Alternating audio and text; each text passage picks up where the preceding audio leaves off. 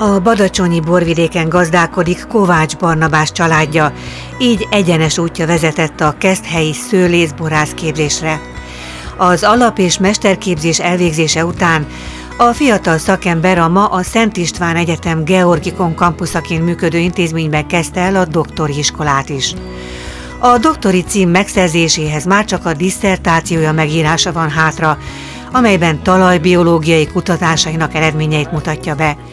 Kovács Barnabás azonban más témák iránt is érdeklődik. Nagyon sokat jársz külföldre.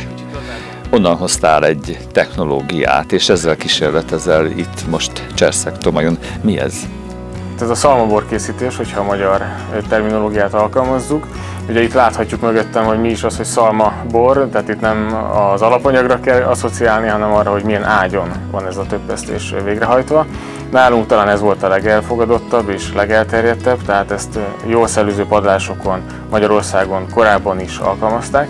Igaz, hogy nem elsősorban borkészítésre, hanem inkább csak az, hogy legyen a téli időszakban a családnak csemegje, és akkor így aztán a szőlőt, amelyet fölhelyeztek így a, a jól szellőző helyre, mert ez a kulcs szó azért honnan még egyszer, ott a víztartalmának egy jelentős részét elveszítette, így aztán koncentrálódott elsősorban hogy a cukortartalom, ez volt a cél, de a savtartalom is egyébként, tehát borászati szempontból ez egy másik nagyon fontos aspektus.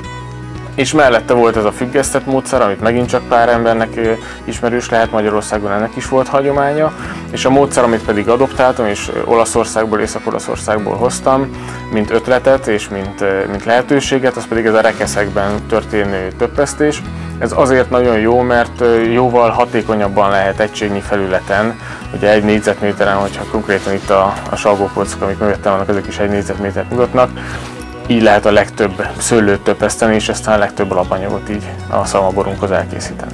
Ez biztosabb módszer, mint hogyha a tőkén veszíti el a víztartalmát a szőlőfürt? Én egészen biztosan annak mondanám, hogyha a megfelelő feltételeket biztosítjuk beltérben mert hogy nincsen kitéve ugye az időjárásnak, ez egy nagyon fontos aspektus, tehát az, hogy hogyha egy jégbort szeretnénk készíteni, vagy akár csak egy késői szüretet is, akkor az azt jelenti, hogy a normál szüreti időponthoz képest hónapig, vagy akár több hónapig is ott van tartva a szőlő a tőkéken. Ott az időjárásnak is ki van téve, és a kártevőknek is. Míg hogyha behozzuk őket a beltérben, akkor, és itt biztosítjuk a megfelelő körülményeket, itt ez egyébként azt jelenti, hogy a gombáknak nem megfelelő körülményeket biztosítunk, és akkor a szőlő egészségesen tud csupán csak vizet veszíteni, és akkor lehet jó szamborokat készíteni.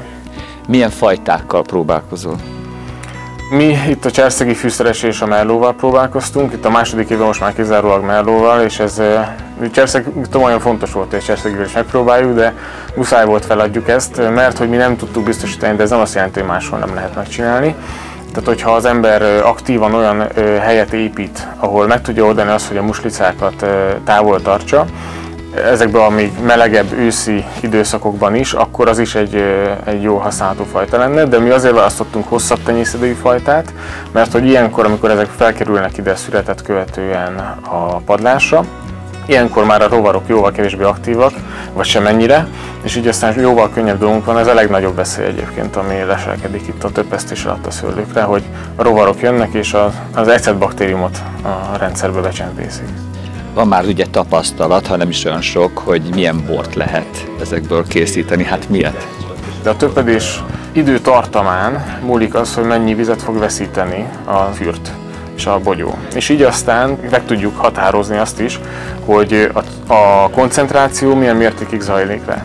Mi a tavalyi évben 110 napig többesztettünk, mert hogy ezt a Vápolicella észak-olasz módszert akartuk itthon is kipróbálni. Ilyenkor olyan magas lesz a cukortartalom, hogy nagyon nehezen tudják az élesztők ezt kierjeszteni, és egyébként 16-os alkoholfokig, tehát jól teljesítettek, vitték az erjedést, itt akkor leáll az erjedés, és még így is 90 g maradék cukrunk maradt a tavalyi évben a Merlóból készült szamamborokban, ami azt jelenti ugye, hogy ez egy desszertbor lett így is, tehát magas alkoholtartalommal. De hogyha mi ezt hamarabb albolyjuk, és idén már meg is történt a négy ilyen polcból kettőt már feldolgoztunk, akkor tudjuk úgy erjeszteni, hogy egy száraz vagy félszáraz borunk legyen a végeredményben.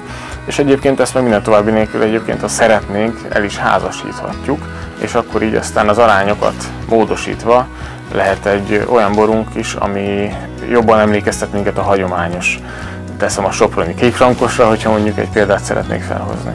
Magyarországon jelenleg két olyan pincészet van, ahol ezzel a technológiával is készítenek bort, de van még hova fejlődni, hiszen például Olaszországban évente 10 millió palack szalmabort adnak el. Amikor a Georgikon kampuszon a jövő szőlész borászai a bor különlegességekről tanulnak, megismerhetik ezt a technológiát is. Kovács Barnabás és a kísérletekben a vele együtt dolgozó hallgatók a kutatások kiterjesztéseként jövőre már háromszor nagyobb felületen szeretnének szőlőt töppeszteni, de a fiatal szakember azt is tervezi, hogy a családi gazdaságban is kipróbálja a szalmabor készítést.